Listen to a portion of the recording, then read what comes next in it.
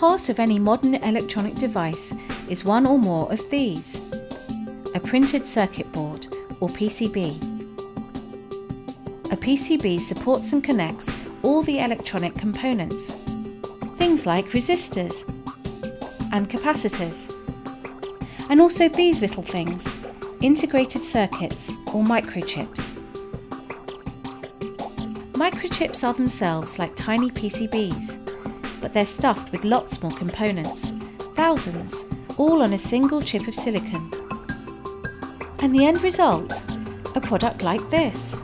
In this case, a DVD player, made by a company called Arcam.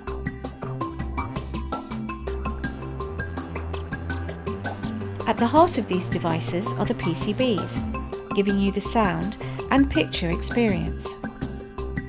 But how are the boards designed? How are they made?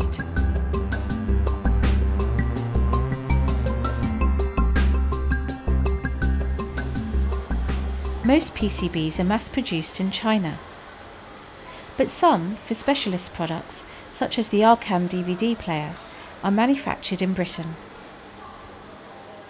These are made in quite low numbers, with the emphasis on quality and performance.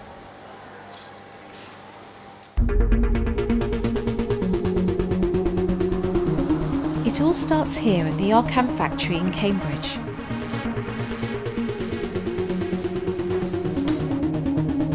Mark Tweedale, Arcam's electronic engineer. It's his job to actually design the PCBs. First problem, just make sure they fit.